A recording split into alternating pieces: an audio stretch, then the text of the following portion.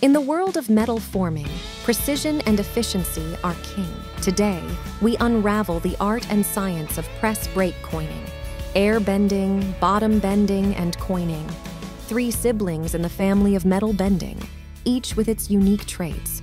But today, the spotlight is on coining. Coining is the heavyweight champion, using high tonnage to ensure metal sheets conform utterly to the punch and die guaranteeing precision and consistency. A technique dating back to the creation of coins in ancient times, coining has evolved, finding its place in modern metal manufacturing industries. From material preparation to the exertion of high tonnage, coining is a dance of precision, offering consistency and applicability across various metals. Unlike airbending's minimal contact and bottom bending's middle ground approach, coining is all about complete conformity ensuring each bend is a masterpiece of accuracy.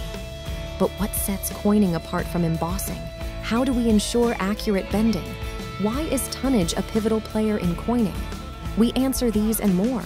In the grand theater of metal fabrication, coining stands tall, a testament to the blend of ancient wisdom and modern innovation, driving precision and efficiency.